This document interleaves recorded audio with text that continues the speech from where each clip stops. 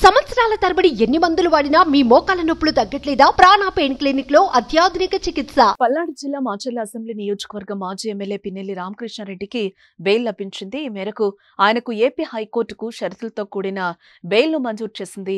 June ఇరవై ఆరున Pinnelli Ramakrishna Reddy arrest అయిన విషయం కూడా తెలిసిందే.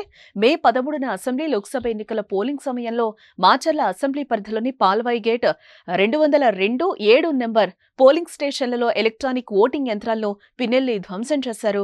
ఆయా పోలింగ్ కేంద్రాల్లో అమర్చిన వెబ్ కెమెరాలు ఇది స్పష్టంగా రికార్డ్ అయింది కూడా. ఆ విజువల్స్ సైతం వెలుగులోకొచ్చాయి.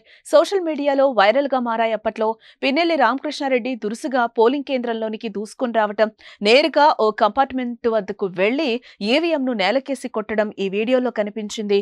తెలుగుదేశం పార్టీ నాయకులు కార్యకర్తలు రిగ్గింగ్కు కు వల్లే సంబంధిత ఈవీఎంను పిన్నెల్లి ధ్వంసం చేశారనేది వైఎస్ఆర్సీపీ వాదన. అయితే పిన్నెల్లి చర్యలను ఈసీ తీవ్రంగా పరిగణలోనికి తీసుకుంది. దీనిపై సమగ్ర నివేదిక కోరింది ఈ మేరకు ఎన్నికల ప్రధాన అధికారి ముఖేష్ కుమార్ మీనా. ఈ ఘటనకు సంబంధించిన పూర్తి రిపోర్టును ఈసీకి పంపించారు. ప్రధాన నిందితుడిగా పిన్నెల్లి పేరునైతే చేర్చారు. వాటిని పరిశీలించిన అనంతరం ఆయనపై చర్యలు తీసుకోవాలంటూ డీజీపీకి సిఫార్సు చేయాలని ఈసీ ఆదేశించింది. ఇదే కేసులో అరెస్టు నుంచి తనకు రక్షణ కావాలని కోరుతూ పిన్నెల్లి రామకృష్ణారెడ్డి హైకోర్టును ఆశ్రయించిన విషయం కూడా తెలిసిందే.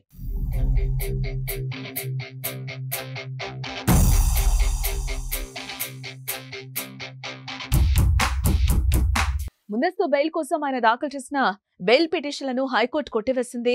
ఆయన వేసిన నాలుగు ముందస్తు బెయిల్ పిటిషన్లను కూడా హైకోర్టు తోసిపుచ్చింది.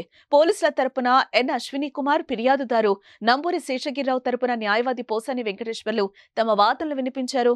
తాజాగా ఆయన బెయిల్ పిటిషన్లపై నేడు కూడా వాదనలు జరిగాయి. పినేలి తరపున వాదించిన అడ్వకేట్ వాదనలతో ఏకీభవించిన ఏపీ హైకోర్టు న్యాయమూర్తులు ఆయనకు షరతులతో కూడిన బెయిల్ను మంజూరు చేయడం జరిగింది.